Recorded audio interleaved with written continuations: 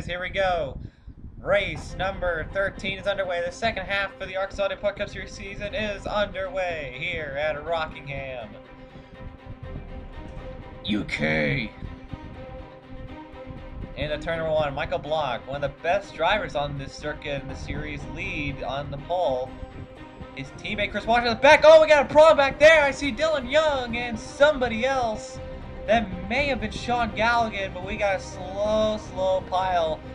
Turn two, and that was Sean Galligan, it looks like. And uh, is caution out? No, caution will not come out. Huh. Someone's in the pits, I think. I saw somebody go in the pits. That may have been Guerrera. Trying to make sure. There's Nicholas Guerrera. Nicholas Guerrera in the pits. As Dylan Young and Sean Galligan started in the top 10. Reckless out. Take a look at happening over in slow mo. Oh, look at Nick Mace. Nick Mace just dive bombed all the way. He went for fourth there. He dive bombs, gets into the two, knocks Dylan Young into Sean Galligan. And got a piece of Noah Hart as well. And wow, Dylan Young comes right to the pack. Michael slams on the brakes, and luckily everybody managed to avoid uh, crashing. But Nick Mace, very aggressive move at the start. Must be very, very frustrated with how his season is going so far. So all that commotion has promoted Jason Trost to first, but Noah Hart, who got involved in the incident, is moved up to second and is now going for a lead against Trost, and he dives straight down to the floor, and Noah Hart will take the lead. A block into Max following behind. And Noah Hart, who has nine career wins, tonight could today could be the day. Could he get the win number 10, the first ever driver to get double digit wins? Perhaps he's got a good car. Oh boy, Fuller and Block out a really decent battle right now. Uh, here, oh, here, this is your top two in points right here. Matthew Fuller and Charlie Vibrosis in the nine. Fuller is trying to take the points of Fibrosis. He closed up tiny bits of If you can get the good up front, he could potentially take the points lead here tonight. Or today. Now, it depends on where you live, but uh, Jacob Anthony, who currently sits 15th in the points, is running in the back here. Well, sort of mid-pack here. And Gene Siffer! I mean, that's not Gene Siffer. Oh, God, that's not Gene Siffer. That's some asshole. Oh, God. Oh, God. There they go. There they go. And Daniel Day into the wall. And that's a big four-car wreck. Shelton involved. Alex Allen. There goes McWhirter and Nick Smith. They spin. And another caution comes out. And Shelton's involved. And a good chunk of cars get involved in that wreck. I don't know why this is still says Jean Sanford even though she's suspended. well, my bad. As we head back to the green, let's go around the bottom because he is a lap down. Noah Hart will lead them back to the flag. DD Max in second, and we are back on the green. Hart got a good jump there, but so did Demax. Into turn one. Top three, all ARCSOA legends in their own right. Mace, one of the uh, Nick Mace, one of the greatest ARCSOA drivers of all time. In third, he's been struggling this season. He is a former DuPont Cup Series champion. Max Noah Hart, legends in their own right. As we look through the field here, Matthew Fuller trying to get up to the nine. He cannot let Vibrosis gain any more points on him. Jerry Guerrera is having a, actually not a bad run. Three wide there, three wide for 13. And Perkins will go to 13. I mean 15. I mean 14. My bad. I can't read. Oh boy! Oh boy! Oh boy! Oh, oh buddy. Okay. Chris Levere almost got involved in a wreck there. He's currently in the top 20.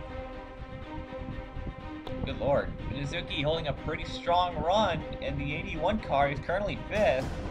Mizuki currently sits 22nd, 22nd in the um, 22nd in the points and uh, his teammate Max is right up there in, the, in front of him. Mizuki could get a good run. He could potentially win this as Nick Mace has captured the lead from Noah Hart. Nick Mace, he has only one DuPont Cup Series win, and that was back in our first ever season when he won an 8 Bull. And then the following season, he won the Season 2 championship. And hasn't had much success ever since. well, in the Cup Series, of course. Lamas has just really had a horrible season thus far. He's currently 26th in the points, but he is in the top seven. But multiple times, Cody Lamas has been up in the front and has just lost it due to pit issues or car failures. It's just not been a happy season for Lamas, and that we're happy to see he, that team really needs to start stepping it up. Halfway through, Nick Mason and Noah Hart have just been having a dogfight with each other for this lead as Charlie Pipe Ross in the 9 quietly approaches in third. These two have been at each other's legs this whole entire race. These two are really good friends. Especially Noah, I mean, he's married to frickin' Mace's sister Ashley anyways. So, pit stops begin as Pipe Ross heads down into the pits. Pit stops. First couple drivers to bite. After this round of pit stops, Noah Hart's pit crew gave him probably one of the quickest pit stops I've seen in my entire life. That 47 bolted right ahead of Demax, who's in second, Nick Mason third, Fibrosis fourth, and Cody Lamas fifth. Washer sixth. Oh my oh, what is Tross doing? He dives down into his uh, sort of enemies, I guess. Where is Fibrosis though? But uh Fuller really needs to start hurrying because he cannot let Fibrosis gain any points. And with less than 20 laps to go, it's really go time. Whoa, Tross battling with the six very aggressively there. Jake Baskinger holds a solid 10th place right now in the one car. He's been on a roll as of late. With Minizuki and Perkins battling for 11th. Here's two of the Harper Motorsports teammates, Zach Breyer and Ted Nowakowski. Chris Laverne battling with his good friend William Duncan. He passed right by his teammates who are dealing with the slow car of Sean Galligan. As the 20 car continuing to move up, it still says Rapix, but it is Chris Louvier. I swear to God, it sounds like a French name. Michael Block is starting on the pole, has fallen to the mid-pack, unfortunately. Michael Block's team has just been struggling the pit stops this season, and it's very unfortunate that that's been happening to that team currently sits seventh in the points, so I don't think it's really their fault entirely. Here, Nick Mason's retired from the race, and we're finding out why here. Let's take a look. Oh, Mace just drives straight into the 11 and you're oh wrecked himself and almost got into the air as Vince Allen continued on, but no caution came out for that. Very odd, no caution for that. That I would have called a caution for that. That was kind of ridiculous, but Nicholas Guerrero is already having a bad day, and it gets in. into is somehow sitting in 15th. His teammate William Duncan right behind. There goes Nokowski, and he turns the 20. Wow, and Nokowski turns the 20. Will that bring out the caution this time? It will. It will bring out the caution. And that was not what Noah Hart wanted to see. He was pulling away from the 92, and that's going to shake things up for sure. Here we go. Hart leads into the flag. Now Max McMace right behind. Gonna be seven, uh, eight laps to settle this. There's no Hart trying to hold on from Eugene Max. And here comes Chris Washer. Look at Washer flying right now. Look at Washer go. He's going for it right now. And Chris Washer flying and gets past Nick Mace. Oh boy, look at Tross gonna go for three wide because why not? And Mick Mason pulls away, but Tross continues to push. And Max and Noah Hart have pulled away from the pack. And Max is closing on the 47. Tross goes right on by. And Fuller, now ahead of his championship rival, Trevor Frost as he's being forced backwards. The 9 car goes backwards as Fuller trying to take the points lead as Demax cowers onto the 47. Four laps ago, go. Demax is pouring everything he can on the 47. Meanwhile, in third, Tross trying to close in the gap. He is closing very slowly, but he is. Baskinger currently sits in fourth place. Chris Washer holds fifth, said Cole. Fuller trying to work with his teammate. Zach Rogers could get, potentially get a top 10 as Nick Mace has fallen backwards. And so has Fibrosis.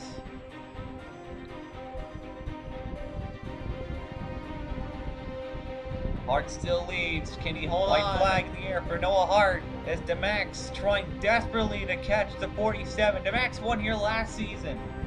He's trying to go back to back. He won the second race. He won the second dual race here last season. And now, if he can get the run the 47, he can make one last ditch effort. Coming into the final turn, I think Noah Hart is about to make history. Noah Hart is going to hold up Eugene Max and will be the first ever DuPont Series driver to get double-digit wins. Noah Hart wins here at Rockingham. History has been made. Win number 10 for Noah Hart. In his second win of the season, breaks the all-time, well, he breaks a record, for sure. Good stuff by Noah Hart right there. Win number 10. Huge, huge accomplishment for him. So many times he's won. So many times he's not been in the championship hunt. But Noah Hart becomes the first ever DuPont Cup Series driver to win more than nine races, to hit double digits. It's a huge milestone for any driver out there. And uh, it was a good day for him. And uh, congratulations to Noah Hart And we still have a second race to go to in this doubleheader tonight. So we will see you guys in that doubleheader. Congratulations, Noah Hart. Let's see if you can get 11 next time.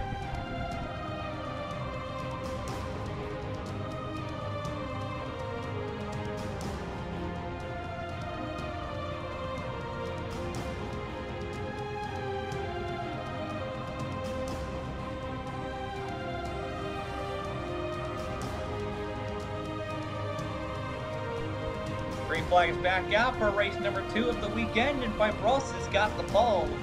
It's Daniel Day on the outside in the turn one, and your top two points are about to be one and two again. Matthew Fuller, after that race, took the points lead. Matthew Fuller is now the points leader for Fibrosis. Fibrosis is now seven points behind the six. So now it's up to Fibrosis to do the best he can a great finish here today and try and regain some of his lost points. Noah Hart has switched to a different scheme like a couple of other drivers have as well. It's like, oh, whoa, wow, Guerrero just cut off that 47.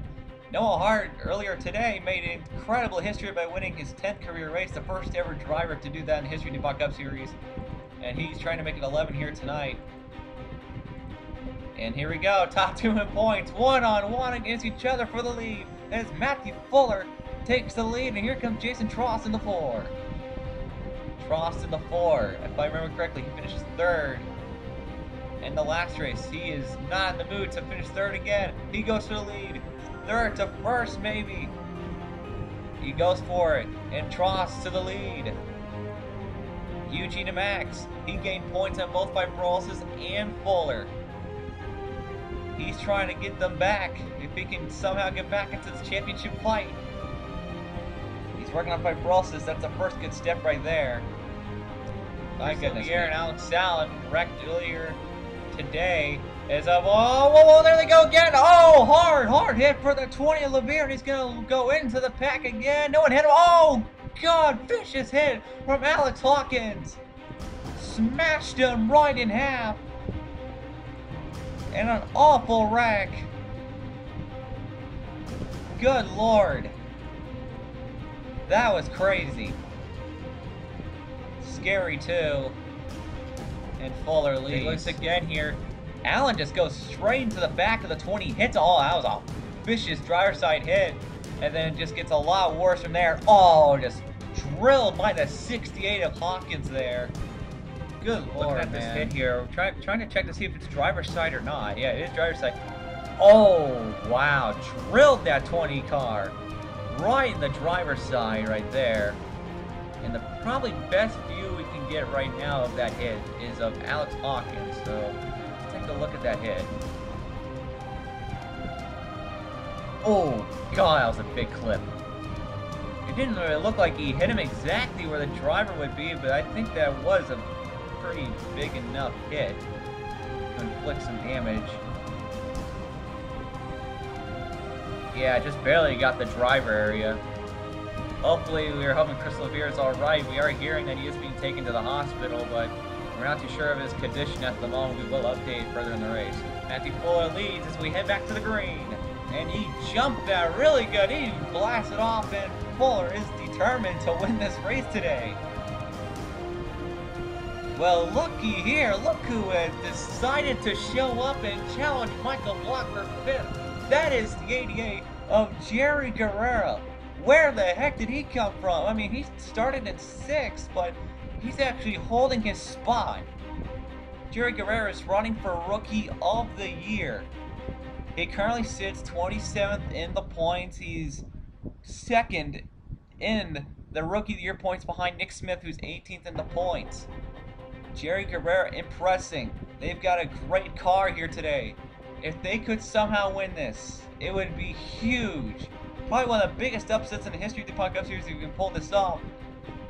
As DeMax moves to second and looking for Fuller as a token as well as Tross falls back really quickly. Uh, we are hearing that William Duncan is incredibly furious. We're hearing that he's planning on dumping the 71 if he can get to him. Daniel Day is the owner of Day Sports, which is what Alex Allen's car is, and that was the car that turned the 20. And I imagine that Duncan's got quite a few words to say to that 71 car, or Alex Allen overall. So if Duncan somehow gets up today, this could end really badly. And Jerry Guerrero pushing as hard as he can to stay in the top 10. Look at this go for three wide. Galligan wants to make it four wide. He thinks better of it, but Jerry Guerrero throwing in everything at everybody right now. He's doing the best he can to hold his spot as we go through the field here. Anna Shelton got involved in the big one earlier today, and she's trying to work her way back up to make up lost ground in the points. Good lord. Daniel Day! Oh, whoa, that was close. That could have been bad as Block and Fuller got together as Daniel Day is the leader. John Perkins is moving his way through the field right now. Perkins has not had a good season thus far. He currently sits 31st, uh, 32nd points. My apologies, but not a good season for the uh, American 700 winner and the Sony Cup Series champion. It's Noah Hard really not performing too well compared to earlier today and uh, he's currently 17, so I'm kind of doubting his ability to win this race. Nick Smith currently 20. Actually, I made a mistake earlier. I said 18th in points. He's actually 22nd of the points. Once again, my apologies for number errors. I was reading it wrong. But Nick Smith is the best rookie, and he is league rookie of the year, and he actually has been quite consistent this season for a rookie. Probably one of the better rookies we've had in a while. And uh, that uh, 94 car has gotten some okay finishes gotten a couple of, he's gotten like two top 10 finishes so far this season. Oh boy, yeah, Nick Mason, Seth Cole getting together there. That was close, almost right. Meanwhile, all hell is breaking loose for the elusive and amazing and important second place position. Very important spot. Four cars just beating and banging, actually make that five, could be six if Duncan gets up to him, but they are fighting with fury to get second place right now. And meanwhile, Daniel Day just leads and pulls away on and on again. Nick Smith continuing to work his way through the pack, and the game is slowing for some reason. As oh boy, Nick Smith and her and his teammate Deanna Shelton doing pretty well this far. They're both in the top 20. Jerry Guerrero continuing to impress everybody as he currently holds eighth place at the moment. Daniel Day still leads, but Galligan and Michael Block are gaining on that 71 car. It's Here they come into the pit road, and Daniel Day, the leader, pits. And uh, very important, got a pit. Very similar to last race, pretty much same lap when they had to pit, and Jerry Guerrero stays out.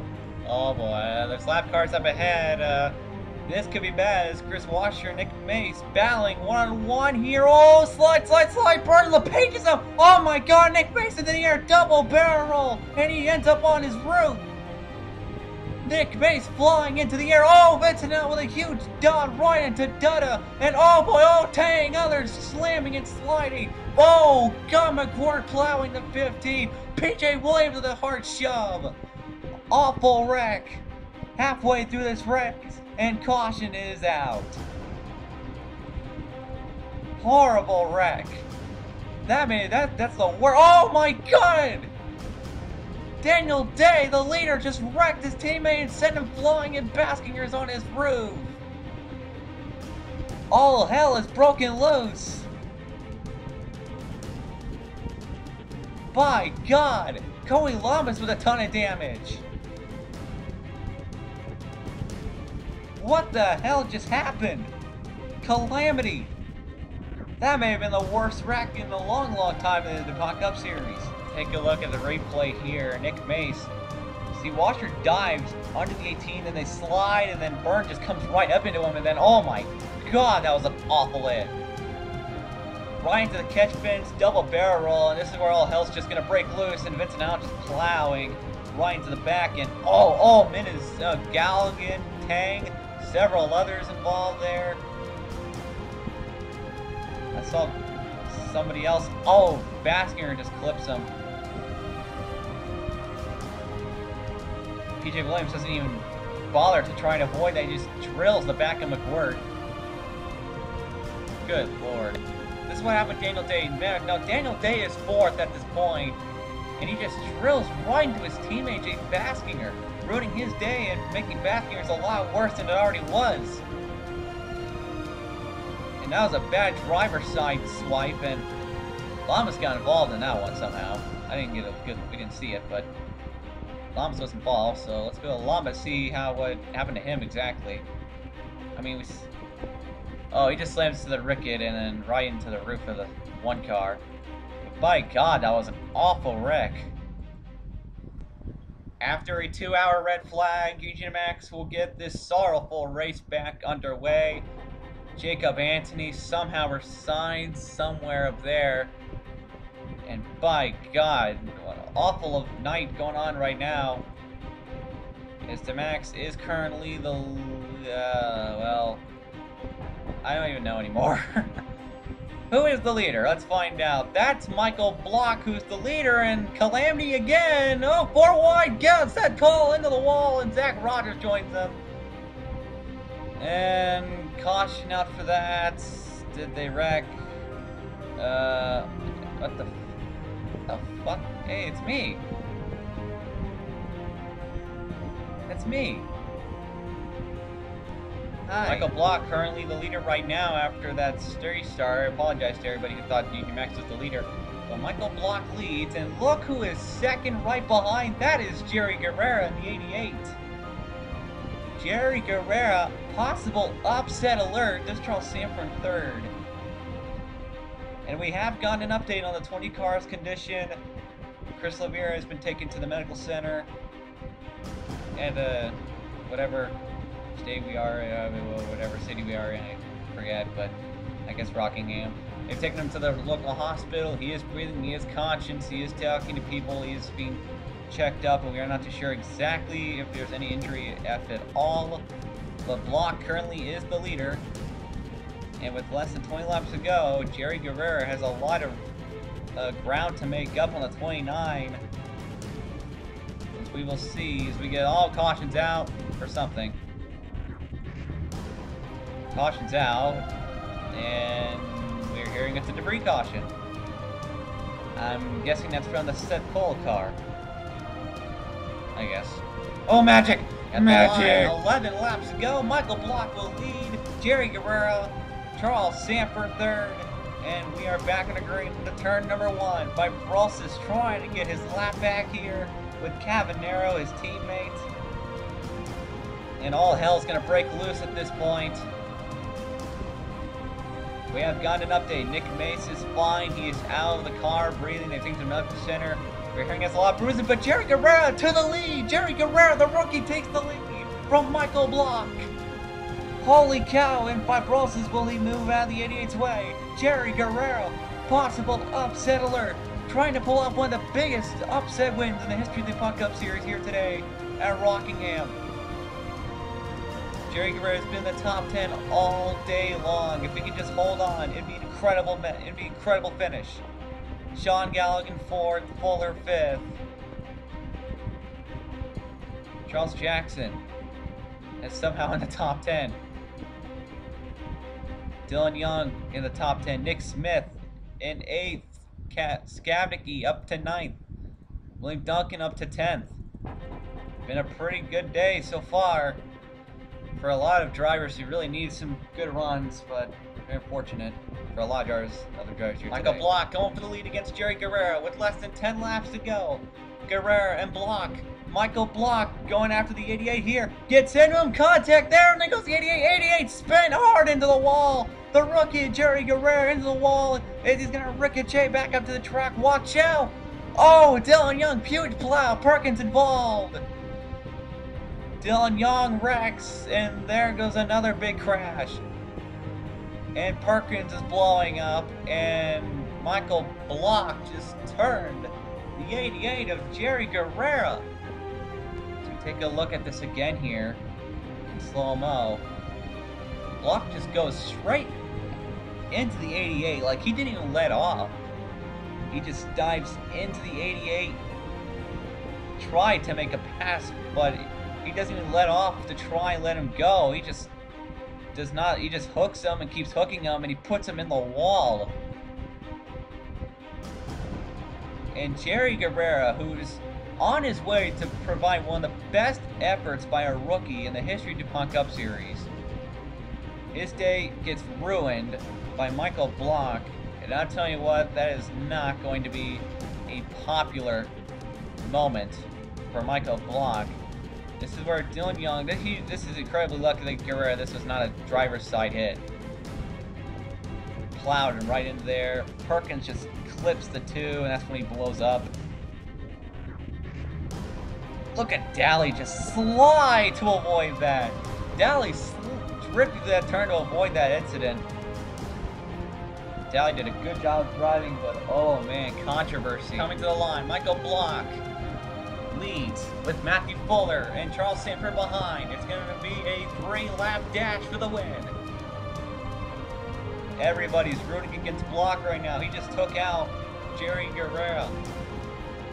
Fuller trying to make a move. Here comes Charles Sanford diving down for second. He wants a piece of Michael Block, especially since Sanford is the owner of Jerry Guerrero, and I cannot imagine how furious that 24 car is going to be right now. Sanford pushing as hard as he can. I think he, I think he just wants to turn that 29. I don't think he cares about winning. He just wants to get that 29 wrecked. Two laps to go. Michael Block, can he hold on? as he is pulling from the 24. Charles Jackson in third, trying to get to second with John Galligan right behind. Cavanero is a few laps down, but he's currently in 16th. Nick Smith in sixth place right now. He's currently the best performing rookie on the track. And Smith gonna make a bold move against the 91. Coming to the white flag here. Jacob Anthony actually doing pretty good in 11th place right now, but white flag is out for Michael Block as Charles Jackson moves to second, right on by the 24. And I think that 24 may have an issue as he's falling back quite rapidly. Michael Block, and probably one of the most controversial finishes in the history of the DuPont Cup Series, heads into the final turn, and it looks like, barring any issues, Michael Block will score his seventh career DuPont Cup Series win here at Rockingham. And definitely going to be a very unpopular victory.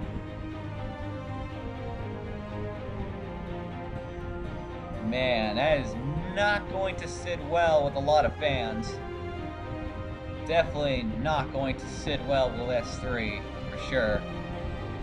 Sanford will finish fourth. Good God. Crazy weekend for sure, and a crazy second race. As we hope that the drivers all involved and the wrecks are all okay. I guess congratulations to Michael Block, although I'm kind of doubting he deserves congratulations for that one.